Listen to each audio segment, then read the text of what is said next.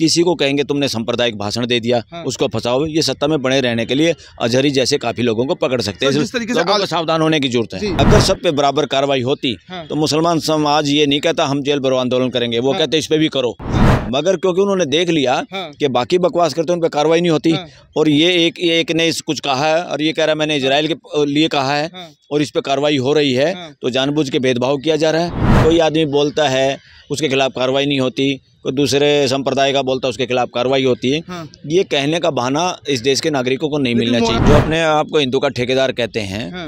हिंदू धर्म का भी हिंदू संप्रदाय का वो भी कहीं बकवास कर चुके हैं किसी की जीप काटने की किसी इस तरह के इनाम इनाम की हाँ। बातें कर चुके हैं उन पर कार्रवाई नहीं हुई वहाँ सरकार ऐसी होती है सरकार सत्ता में बने रहने के लिए इस तरह के खेल खेलती हैं हाँ। और बदनाम होता है सारा संप्रदाय हाँ। अब मान लो कोई हिंदुत्व के नाम पे मोदी कोई गलत काम कर रहा है या आरएसएस कोई गलत काम करे हिंदू जिम्मेदार थोड़ा है इसके लिए हाँ। ये खुद जिम्मेवार हैं हो सकता है इनकी राजनीति में हिंदुत्व हिंदुत्व की ठेकेदारी करने से या बोलने से इस तरह की बकवासबाजी करने से इनको वोट का फ़ायदा होता तो इसलिए करते हैं मगर कानून को सबके साथ एक जैसा इलाज करना चाहिए नमस्कार दोस्तों पीआईबी चैनल में आपका स्वागत है। मैं ललित चौधरी। आपको बता दूँ जिस तरीके से सलमान अजहरी को जिस तरीके से जमानत मिल चुकी है इसी पर चर्चा कर लेते हैं। सुप्रीम कोर्ट के वकील हैं हमारे साथ जिस हेट स्पीच मामले में उनको गुजरात पुलिस ने गिरफ़्तार किया था। आइए जानते हैं इनकी क्या राय है। जमानत मिल गई अच्छी बात है और हाँ। जमानत देश के हर नागरिक को मिलनी चाहिए। हाँ। क्योंकि कोई क्राइम है या नहीं है हम्म, एक्यूज है उसने सही ऐसा किया कि नहीं किया है वो तो बाद की बात है ट्रायल में फैसला होता है कोर्ट करती है।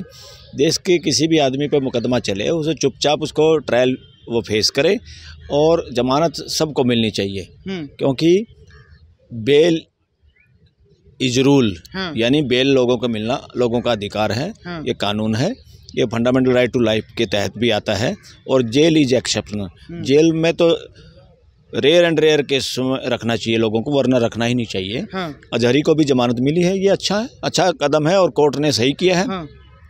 क्योंकि अजहरी ने जो बात कही है हाँ। अब पूरा कंटेस्ट में देखेगी कोर्ट कि हाँ। पूरा भाषण क्या था हाँ। क्या वो कहना चाहते थे हाँ। क्या वाकई यहाँ के किसी समुदाय को संप्रदाय को वो अ, कुछ गलत कहना चाहते थे या उन किसी की भावना को उसे ठेस पहुँची है कि नहीं पहुँची है? ठेस पहुँचनी चाहिए कि नहीं पहुँचनी चाहिए? इतनी भी ठेस नहीं है कि किसी के कुछ बोलते ही कहेंगे मेरे को ठेस पहुँच गई ये भी ठेस वेस का कोई मामला बनता नहीं। तो इस वजह से जमानत मिलना सबका अधिकार है और जमानत मिलनी ही चाहिए सबको जमानत मिलनी चाहिए समय पे कहा जा रहा था उन्होंने जो भाषण दिया था वो काफ़ी भड़काऊ था लोगों की लोगों को मान ठेस हुआ है हानि हानि हुई है अरे कुछ लोग ऐसे हैं जो हाँ। सत्ता पक्ष के नज़दीक हैं आजकल लोग हाँ और वो पूरा का पूरा समाज देश के लोग न केवल मुस्लिम हाँ। इवन जो अपने आप को हिंदू कहते हैं वो लोग भी जब पढ़ते हैं बहुत सारी बकवासबाजी आती है और जो ऐसे लोग हैं जिनको सत्ता पक्ष का प्रोटेक्शन मिलता है हाँ। अगर उन पे ये कार्रवाई होती तो अजहरी भी शायद इतनी बोलने की हिम्मत नहीं करता। जी। और एक बार तो यहाँ पर क्या हुआ इवन हाई कोर्ट के जज को बदल बदल दिया रातों रात। हाँ। जस्टिस मुरलीधर को। हाँ। उन्होंने किसी केस में कहा था हेट स्पीच के मामले में कि मिस्टर ठाकुर हैं। क्या नाम उनका? ठाकुर जो अनुराग सिंह ठाकुर। अनुराग सिंह ठाकुर। हाँ। और बीजेपी के जो दिल्ली के सीएम थे उनके बेटे हाँ। प्रवेश वर्मा साहब सिंह वर्मा के बेटे। अच्छा। इन दोनों के खिलाफ justice Muralidhar Delhi high court में जज थे। हाँ। उन्होंने कहा था एफआईआर दर्ज करो इन लोगों की। हाँ। इनका भाषण हेट स्पीच में आता है।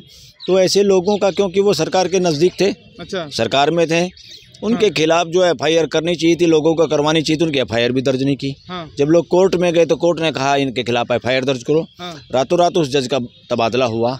तबादला कर दिया गया।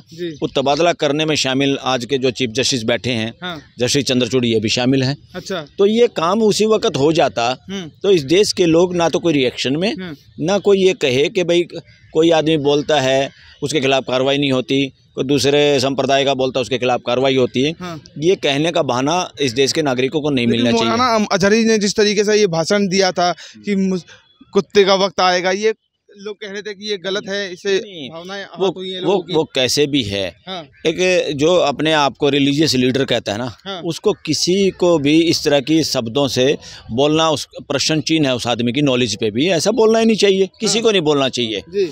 यहाँ कुत्ता किसी को नहीं कह सकते अपन। हाँ। क्योंकि कोई कुत्ता है नहीं। हाँ। कुत्ते को तो कुत्ता कहोगे। हाँ। इंसान को आप कुत्ता नहीं कह सकते कहना भी नहीं चाहिए। हाँ। उनको भी महसूस हो रहा होगा ये बात। हाँ। उनको अपने वक्तव्य के बारे में स्पष्टीकरण देना चाहिए। हाँ। और ज़रूरत हो अगर उनको लगता है उन्होंने गलत किया तो उसकी माफ़ी भी मांगनी चाहिए। उन्होंने कहा है कि मैंने कुछ गलत नहीं कहा है मुझे न्यायालय पर भरोसा है और इसी भरोसे के देख, देखा जाए तो उन पे बेल मिल गई है उन्हें? हाँ नहीं बेल मिलना अलग चीज़ है। हाँ। बेल मिलना अलग चीज़ है। हाँ। दोष सिद्ध होना अलग चीज़ है। वो तो ट्रायल बताएगी ट्रायल में दोनों पार्टियाँ जी रहे एविडेंस सारी बातें होंगी। हाँ। और जज अपने विवेक से फैसला लेंगे लॉ के अनुसार हाँ। उनके उन्होंने गलत किया कि नहीं किया। हाँ। मगर बात ये है हाँ। देश में कोई भी इस तरह की बात करे और सबसे पहले तो इस मामलों में ये जो रिलीजियस लोग हैं ना जितने जी। ये जो अपने आप को हिंदू का ठेकेदार कहते हैं हाँ। हिंदू धर्म का भी हिंदू संप्रदाय का वो भी कहीं बकवास कर चुके किसी की जीप काटने की किसी इस तरह के इनाम इनाम की बातें कर चुके हैं उन पर कार्रवाई नहीं हुई। वो लोग कह रहे थे कि मौलाना ने जो है माहौल भड़काया है माहौल आप वो कार्रवाई नहीं हुई हाँ। वो कार्रवाई होनी चाहिए। कई लोग ऐसे हैं इवन कई नेता भी ऐसे हैं जो लगातार बकवासबाजी करते रहते हैं उन पर कार्रवाई नहीं होती। इससे क्या होता है समाज में कहीं ना कहीं कोई ना कोई आदमी रिएक्शन के रूप में कुछ बोल जाता है हाँ ये अगर उन्होंने बोला भी है सोच के तब भी एक रिएक्शन है ये हाँ वरना कोई समझदार आदमी हाँ। भी किसी को ना गाली देना चाहता ना गलत बोलना चाहता हाँ। तो इन सब लोगों पे कृपा दृष्टि रखनी चाहिए एक समान न केवल गिरफ़्तार करने के बाद उन्होंने ये कहा कि मैंने इसराइलियों को टारगेट इसराइलियों पर यह बात कही थी यहूदियों को लेकर यह ये भी उन्होंने गलत कहा। हाँ। यहूदी सारे यहूदी एक जैसे नहीं हैं। हाँ। इसराइल के लोग तो खिलाफ हैं लड़ाई के। हाँ। वहाँ सरकार ऐसी होती है सरकार सत्ता में बने रहने के लिए इस तरह के खेल खेलती हैं हाँ। और बदनाम होता है सारा संप्रदाय। हाँ। अब मान लो कोई हिंदुत्व के नाम पे मोदी कोई गलत काम कर रहा है या आरएसएस कोई गलत काम करे हिंदू जिम्मेदार थोड़ा है इसके लिए। हाँ। ये खुद जिम्मेवार हैं।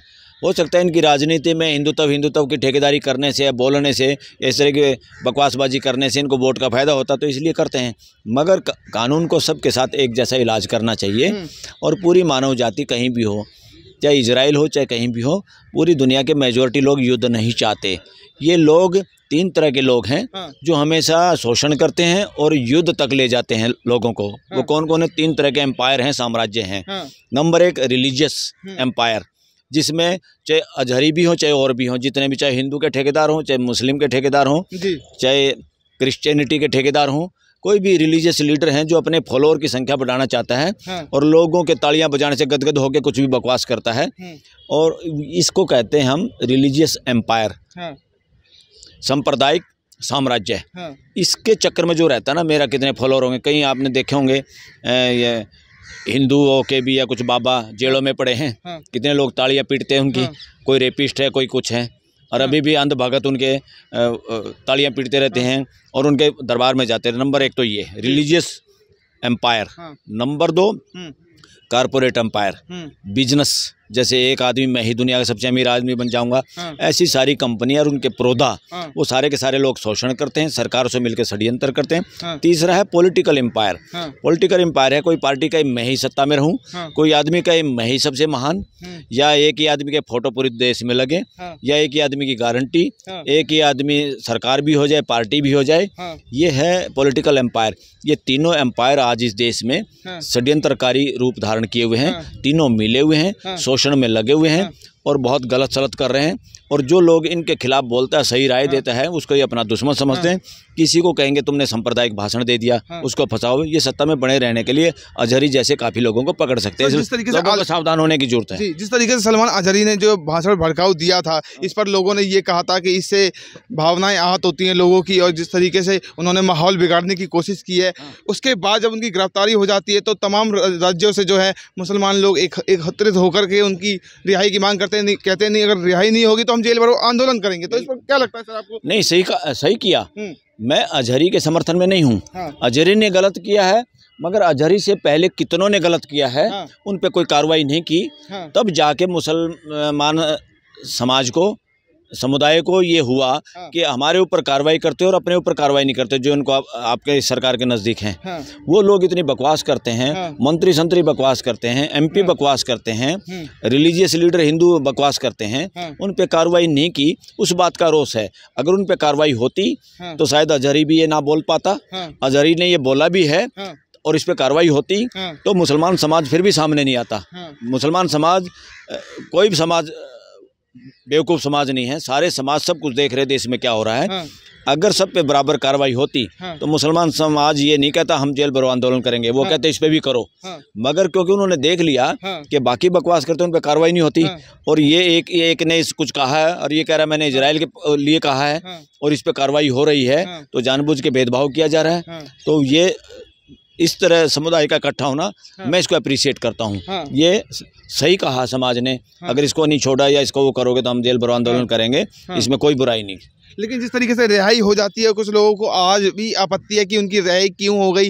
उनकी रिहाई नहीं होनी चाहिए थी। नहीं ये कौन कह रहे इनकी रिहाई नहीं हुई? कट्टरवादी लोग होंगे कोई नॉनसेंस बातें हैं ये। हाँ। सबकी रिहाई होनी चाहिए। यहाँ का हर नागरिक पूरा देशभगत है। हाँ। हर नागरिक को अपने देश से उतना ही प्यार है। हाँ। ये किसी को ठेका नहीं है कि ये भारत माता या ये देश हिंदू ही इसके रखवाले हैं। हाँ। हर एक जो यहाँ का मिट्टी में पैदा हुआ है पला बड़ा है हाँ। सब यहाँ के बेटे बेटियाँ हैं हाँ। सबको उतना ही ख्याल है हाँ। और सब सामाजिक लोग हैं सब हाँ। अच्छे लोग हैं। हाँ। ये सारी रिएक्शन समाजों में जब होती है जब मेजोरिटी के नाम पे या धींगा मुस्ती ताकत के नाम पे किसी एक पे गलत आदमी पे कार्रवाई नहीं होती और दूसरे पे कार्रवाई होती है हाँ। इसलिए मेरी पूरे समाज से ये एक विनती भी है न केवल मुस्लिम समाज से पूरे हाँ। हिंदू समाज से भी क्रिश्चियन और बौद्ध सिख सभी लोगों से हाँ। कि इन वक्त में इलेक्शन का एक ऐसा माहौल है हाँ। जहाँ पे सरकार पे ऑलरेडी ब्लेम है हाँ। और वो इस तरह की हरकतें करते हुए नज़र भी आ रहे हैं हाँ। कि लोगों को बांट के पॉलिटिकल अपना विन करने के लिए पॉलिटिकल गेम खेलने के लिए हाँ। भड़का सकते हैं आपस में। हाँ। एक दूसरे के खिलाफ भड़कना नहीं है। हम्म, चुप रहना शांति का इसमें हाँ। दान देने की बहुत ज़रूरत है। हाँ। लेकिन सर एक तरीके से ये बात भी निकल करके आती है सरकार अपने विरोध में लोग लोगों की बातें सुनना पसंद नहीं करती है। हाँ। 2024 की तैयारियाँ जो जिस तरीके से कर रही है सरकार लगातार ऐसे नहीं कई एजेंडों को सेट कर दिया है। ऐसा लोग कहते हैं। हाँ। क्या लगता है आपको यस ये सही बात है। हाँ। और देश में जो पॉलिटिक्स पॉलिटिक्स ऑफ़ ह्यूमैनिटी नहीं हो रही। हाँ। पॉलिटिक्स फॉर कंट्री नहीं हो रही। हाँ। पॉलिटिक्स फॉर वेलफेयर नहीं हो रही। ये पॉलिटिक्स फॉर पॉलिटिकल एम्पायर हो रही है सत्ता पे कब्जा करने की। हाँ। ये पॉलिटिक्स में धन सत्ता पे कब्जा करने की? हाँ धन उन लोगों की तरफ़ से आ रहा है हाँ। जो कि कारपोरेट एम्पायर खड़ा करना चाह रहे हैं या एम्पायर के मालिक हैं हाँ। वो लोग। और तीसरे रिलीजियस एम्पायर के लोग हाँ। जो हिंदुओं के ठेकेदार हैं हाँ उसी संदर्भ में राम मंदिर का दुरुपयोग करने की कोशिश है हाँ। वो रिलीजियस एम्पायर की तरह यूज़ करने की तीनों लोग षड्यंत्रकारी लोग हैं हाँ। तीनों लोग आपस में मिले हुए हैं हाँ। देश को सावधान होने की ज़रूरत है हाँ। और सबको शांति और भाईचारा बना के हाँ। अपने बैलेट पेपर से अपना फैसला देने की ज़रूरत है हाँ तो फिर क्या लगता है जिस तरीके से उनकी रिहाई हो गई है अगर आरोप सिद्ध हो जाते हैं फिर दोबारा जेल में डाला जाएगा? वो तो बात की बात है ट्रायल होगी उसमें समय लगता है। हाँ। सभी तरफ़ की गवाही होती है हाँ। सारे डॉक्यूमेंट पेश किए जाते हैं वो हाँ। वो तो समय लगता है उसमें। हाँ लेकिन उन्होंने कहा है कि मैंने जो भाषण दिया है वो कोई गलत नहीं दिया है मुझे अदालत पर भरोसा है और देखो अदालत रेयरली जानबूझ के गलत काम करेगी हाँ। नहीं करती नहीं हाँ। वो एविडेंस पे जाएगी मगर आजकल क्वेश्चन मार्क कोर्टों पे उठ रहे हैं। हाँ। क्वेश्चन मार्क क्यों उठे हैं? जैसे राहुल के केस में गुजरात की कोर्ट पे क्वेश्चन मार्क उठे। हाँ। वहाँ की डिस्ट्रिक्ट कोर्ट पे भी उठे वहाँ के जज पे भी उठे वहाँ की हाई कोर्ट पे भी उठे हाँ। और सुप्रीम कोर्ट ने इस तरह का कमेंट भी किया और वहाँ की तो जिस जज ने फैसला राहुल के खिलाफ सुनाया था हाँ। वो जज गैर कानूनी तरीके से प्रमोट भी कर दिया था। जब सुप्रीम कोर्ट को पता चला उसको वापस भेजा उसकी प्रमोशन कैंसिल की। तो इस तरह के लोगों को प्रमोट करना हाँ। किसी को प्रमोशन के लालच में किसी को और किसी लालच में दे दे के गलत काम कराना हाँ। ये सरकारों का काम नहीं है। जो भी इसमें इन्वॉल्व है वो देशद्रोही लोग हैं। तो क्या रहने वाला है 2024 में? क्या लगता है कि सरकार क्या हथकंडे अपनाएगी? अगर ईवीएम से इलेक्शन ना हो हाँ। तो फ्लैट जाएगा ये सत्ता परिवर्तन होगा देश में अच्छी तरह से। ठीक है। तो ये तो एडवोकेट बलराज मलिक जी जिन्होंने अपनी बातों को बताया किस प्रकार मौलाना मुफ्ती की जी की जो है गिरफ्तारी हुई थी और किस बात अब उनकी रिहाई हुई है क्या रिहाई होनी चाहिए थी या नहीं होनी चाहिए थी ये अगर वीडियो पसंद आई हो तो आपको लाइक सब्सक्राइब ज़रूर कीजिएगा। मैं पीआरबी से ललित चौधरी नमस्कार।